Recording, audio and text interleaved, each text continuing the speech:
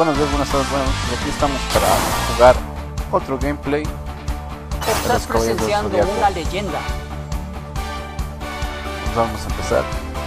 Para los que no lo conocen, ahí les doy una pequeña historia larga. En el templo de Sagitario.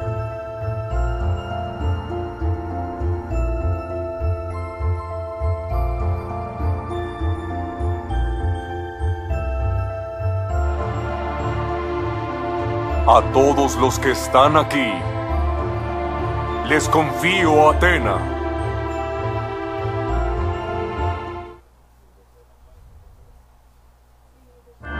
Cuando el mal reina en este mundo, siempre aparecen los caballeros, héroes de la esperanza. Equipados con sus armaduras sagradas, usan el cosmos de su interior para luchar. Esta es la historia de las duras pruebas a las que se enfrentan cinco caballeros de bronce y su diosa. Ahora puede ser parte de la leyenda.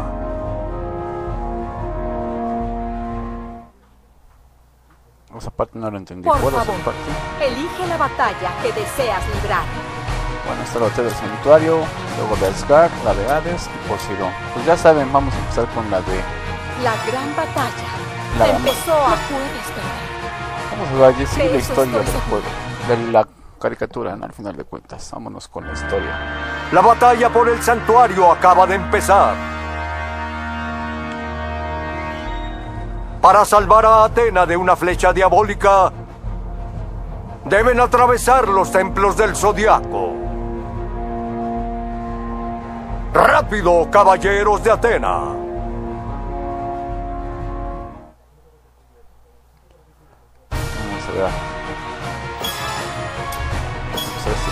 Creo que es puro choro, choro se acaba y volvemos a iniciar el, episodio. Hace tiempo en la era de los mitos, los dioses libraban guerras entre sí para controlar la tierra.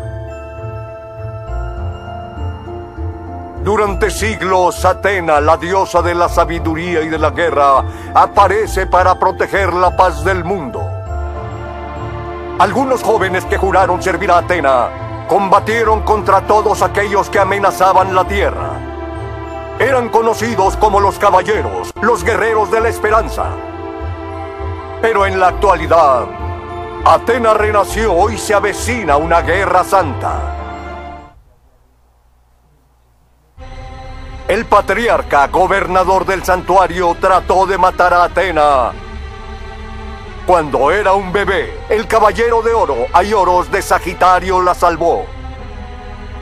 Aioros intentó huir del santuario con Atena, pero el patriarca se ocupó de que lo tacharan de traidor.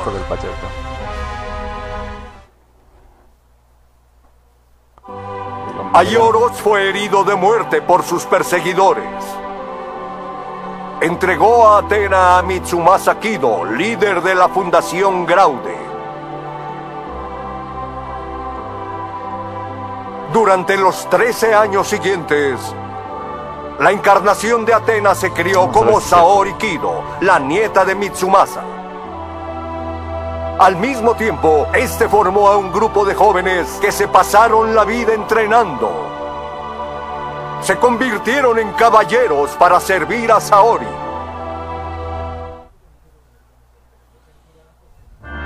Tras combatir a los caballeros negros y a los caballeros de plata, los jóvenes asaltan el santuario para deponer al patriarca y acabar con su plan de dominar al mundo en nombre de Atena.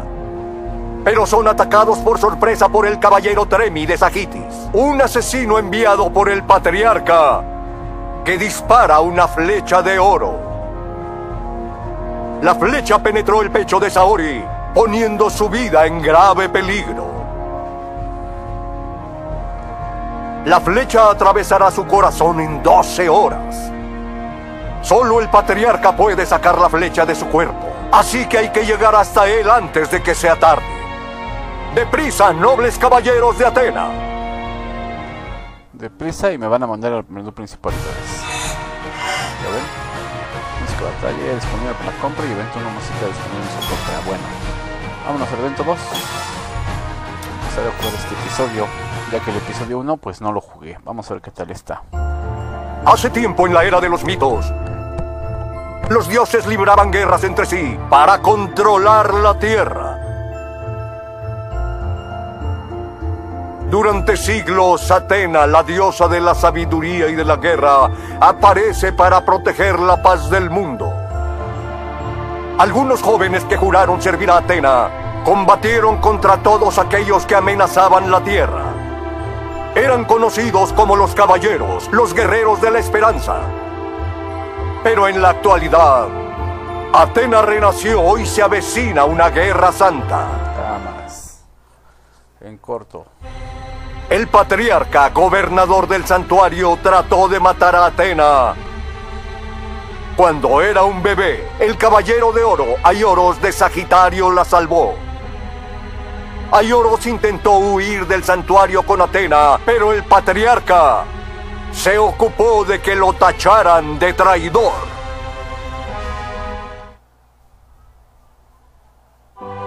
Aioros fue herido de muerte por sus perseguidores.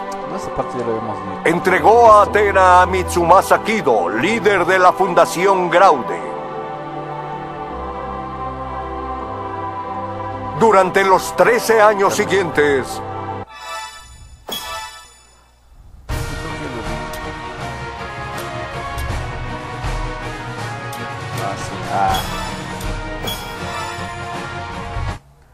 ¿Qué pasó? Estoy viendo el mismo.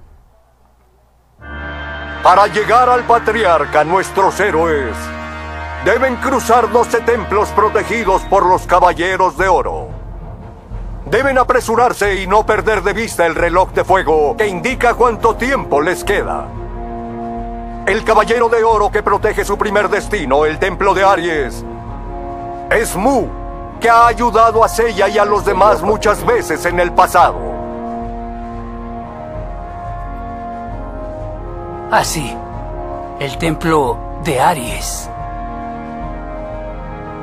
No me extraña que el caballero de oro de Aries proteja este sitio. Escucha, Mu.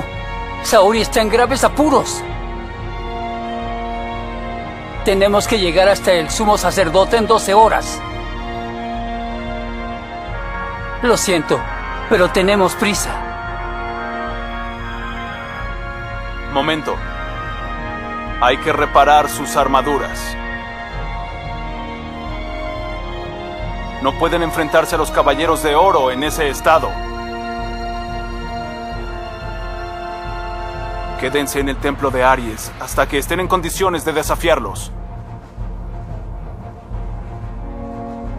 Sí, ya tienes que pedirle a Mu que repare sus armaduras. Bien, te lo agradezco. Mu. No salió cuando le rompió su madre al, al Sei y a todos. Ah, Mu. Lo siento muchísimo. La llama de Aries se apagó. Ya perdimos una hora entera. Hay que seguir. Terminé. Kiki, la armadura. Sí, Mu.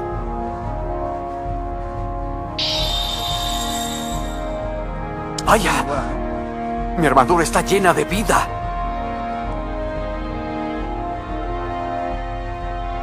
Casi la puedo oír respirar. Como que casi. Ahora estamos listos para todo. Gracias, Mu. De derecha a izquierda. Mu, Kiki, espero que estén listos para vernos luchar.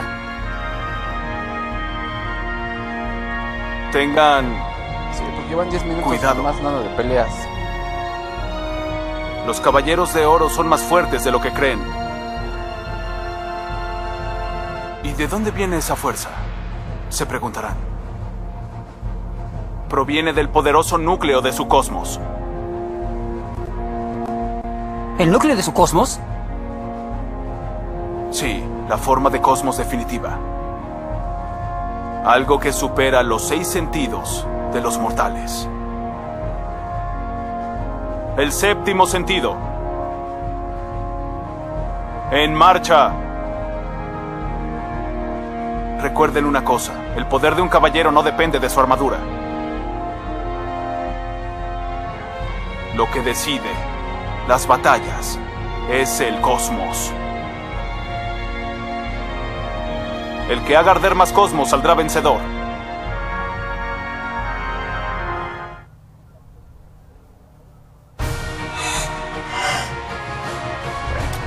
Vámonos por último.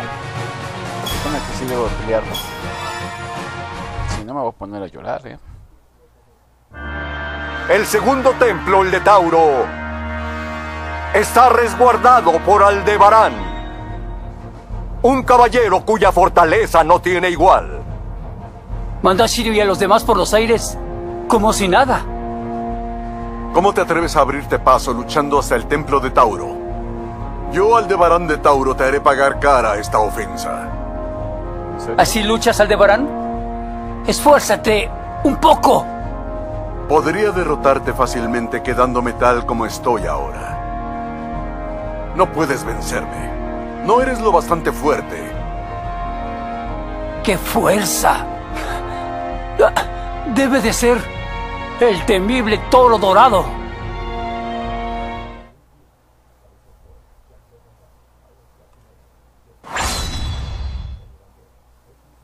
Sale, pues, pues vamos a pelear. Dice que tengo que ejecutar el séptimo sentido. ¡Qué fuerza! Es como un toro de oro. Enfréntate a mí, a Aldebarán de Tauro, Ya cogiste. a luchar. Un caballero de oro no teme a los de bronce. Ya me puedo controlar a la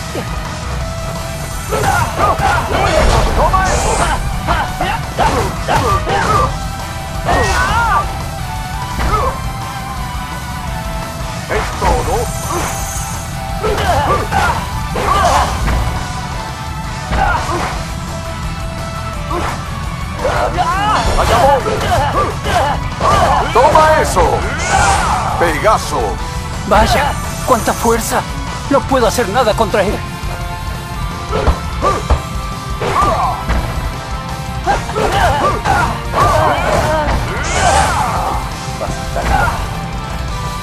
Vamos a ver. ¿Sigues vivo? Veo que eres duro. Su energía es abrumadora. ¡Arde Cosmos! ¡Pegaso! ¡Meteoro de Pegaso!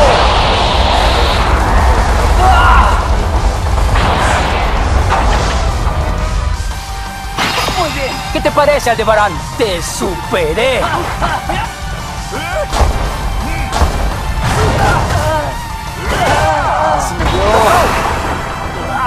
¡Ganador!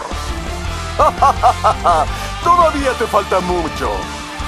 Vamos a ver otra vez. Revancha, revancha. Sella. Sella, no es propio de ti rendirte. Levántate. Todavía queda vida en tu interior. No te Este es mi cosmos. Y va a arder. Vale, pues vamos a ver si ahora sí podemos. ¡A luchar! Todavía no te das por vencido, ¿verdad? No puedo perder por Saori y Ah, por mí.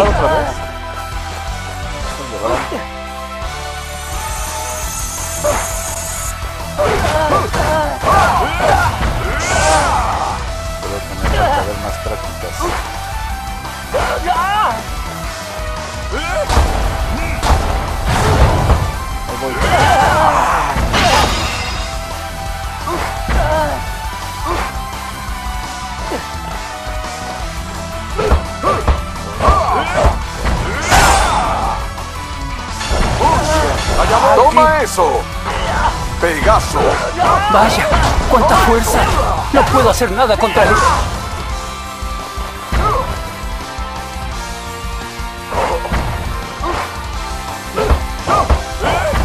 ¡Toma eso! ¡Arde Cosmos! ¡Pegaso! ¡Meteoro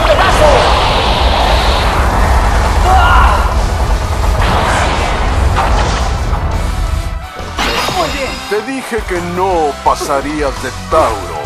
¿Cómo? ¿Qué es esto? Ni siquiera adopta una postura de lucha. Ah, sí ¿ves? Allá voy. ¿Sigues vivo? Veo que eres vivo. Su energía es abrumadora. ¡Toma eso! Híjoles. Más.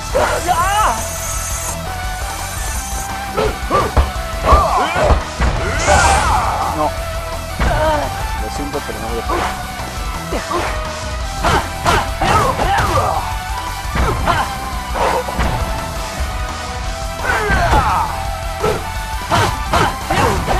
Eres un endeble caballero de bronce. ¿Empiezas a preocuparte, Aldebarán? Ah, ese no me acuerdo. Pues bueno, los ¡Ganador! dejo. A ver si para la próxima este, Todavía te falta mucho. le podemos partir su mandarín en gajos. Yo soy Hidraco, nos vemos. Buenos días, buenas tardes y buenas noches. Seiya no es propio.